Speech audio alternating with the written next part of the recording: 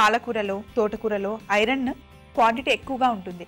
But compare చేస్తే నిజంగానే తోటకూరలో iron చాలా ఎక్కువ ఉంటుందండి. ఫైబర్ ఉంటుంది. చాలా చాలా మంచిది తోటకూర తినడం. ముఖ్యంగా ప్రెగ్నెంట్ లేడీస్ అలాగే డెలివరీ అయిన వాళ్ళు ఒక థర్టీ ఇయర్స్ పైన పడిన లేడీస్కి చాలా చాలా మంచిది. అందులో అందరికీ ఈ మధ్య ఐరన్ డెఫిషియన్సీ వస్తుంది జుట్టు బాగా ఊడిపోతుంది కాబట్టి ఎక్కువ ఆకుకూరలు తినడం చాలా మంచిది. సో మరి తోటకూరని చక్కగా తోటకూరని ఎప్పుడు సన్నగా కట్ చేసి వేసుకోకుండా ఇలా ఆకులు ఆకులుగా వేసుకుంటే మంచిదండి. తోటకూరలో మనకి రెండు రకాల తోటకూరలు దొరుకుతాయి. ఒకటి ఎర్ర తోటకూర ఒకటి తెల్ల తోటకూర.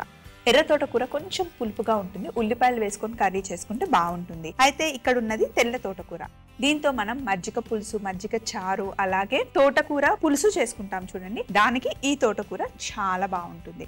అయితే ఇప్పుడు తెల్ల తోటకూరని నేను ఆకులాకులుగా తెంపి చక్కగా వాష్ చేసి పెట్టుకున్నాను. ఇప్పుడు పొయ్యి మీద పాన్ పెట్టాను. స్టవ్ ఆన్ చేసి చాలా సింపుల్గా అయిపోయే మజ్జిగ చారు ఈరోజు మనం చేస్తున్నాం అన్నమాట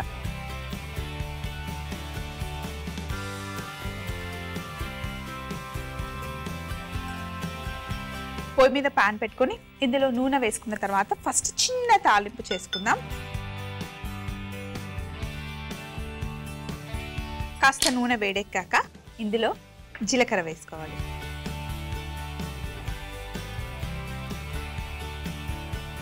జీలకర్ర అలాగే సన్నగా తరిగి పెట్టుకున్న వెల్లుల్లి ముక్కలు.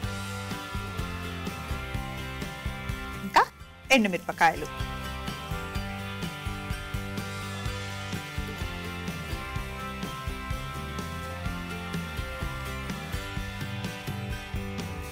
అలాగే కొద్దిగా కరివేపాకు.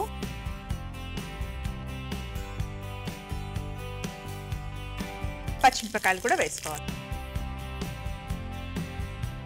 మనం మళ్ళీ కారం ఏం వేయం కాబట్టి పచ్చిమిర్చి ఇంకా ఎండుమిరపకాయలు కొంచెం ఎక్కువ వేసుకోవాలన్నమాట. ఇలా నూనెలో బాగా వేగితే డైరెక్ట్గా కూడా వీటిని మనం తినేయచ్చు. తీసి పక్కన పెట్టాల్సిన అవసరం ఉండదు. ఇప్పుడు ఇందులో ఉల్లిపాయ ముక్కలు.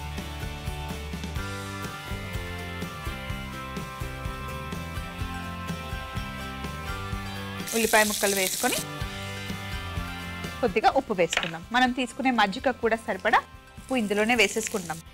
ఎందుకంటే ఉల్లిపాయలు తొందర వేగుతాయి. ఉల్లిపాయలు మరీ బ్రౌన్ కలర్ వచ్చే వరకు వేగాల్సిన అవసరం లేదు. పచ్చి వాసన పోయే వరకు వేయించుకుంటే సరిపోతుంది. ఇప్పుడు ఇందులో కాస్తంత పసుపు వేద్దాం.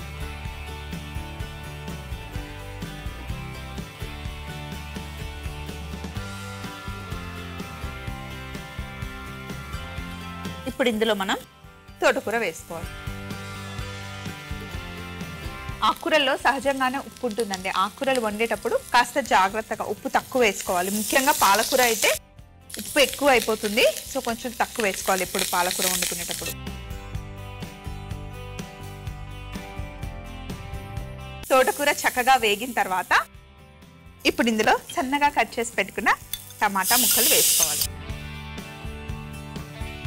తోటకూర బాగా వేగిందని మనకి ఎలా తెలియాలి అంటే ఇలా మనం వంట చేస్తున్నాం అనుకోండి హాల్లో కూర్చున్న వాళ్ళు కిచెన్ పక్కన ఉన్న వాళ్ళు దగ్గుతూ ఉంటారు. అప్పుడు తోటకూర చక్కగా వేగిపోయిందని అర్థం అనమాట సో ఇందులో టమాటా ముక్కలు వేసి చక్కగా మగ్గనివ్వాలి. మూత పెట్టేస్తే ఒక రెండు నిమిషాల్లో మగ్గిపోతాయి.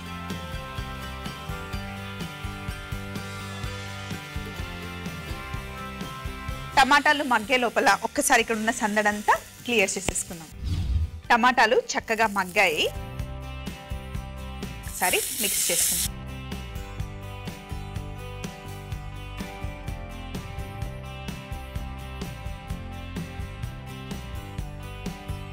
సో ఇప్పుడు ఈ బౌల్లో చక్కగా చిక్కగా ఉన్న మజ్జిగ అన్నమాట. మంచి కమ్మటి పెరుగుని ఇలా గిల కొట్టి పెట్టుకున్నాను.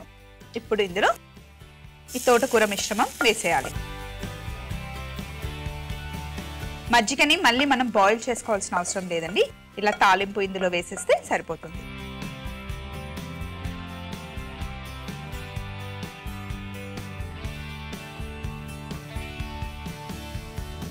ఇలా మొత్తం మిక్స్ చేసిన తర్వాత ఒక పదిహేను ఇరవై నిమిషాలు అలా పెట్టేయాలన్నమాట.